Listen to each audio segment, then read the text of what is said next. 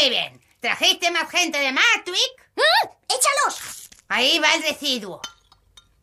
Vaya, tienes mucho residuo masculino. Sí, se lo copié al banco y el resto a un tal Ralph en un callejón. ¡Qué bien! Sí, lo mejor fue que el muy idiota ni siquiera me cobró nada. Me hizo cerrar los ojos y chupar una manguera. Allá va. Ahora a crear una sociedad acuática.